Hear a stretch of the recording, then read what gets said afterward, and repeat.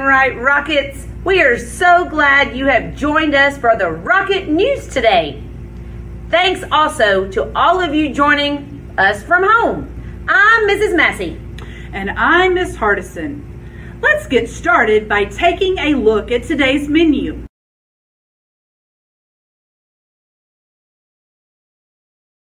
Morning Rockets, today is Friday the 8th. The high will be 69, the low will be 51. Have a great day, Rockets.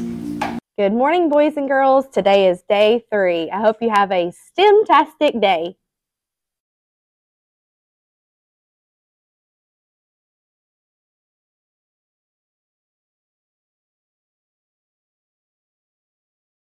Please stand for the Marvin Wright Pledge.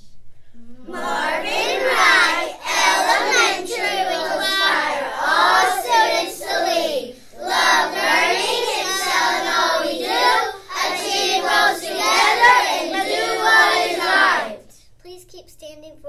the Pledge of Allegiance. I pledge allegiance to the flag of the United States of America and to the republic for which it stands, one nation, under God, indivisible, with liberty and justice for all. Please join us for the moment of silence.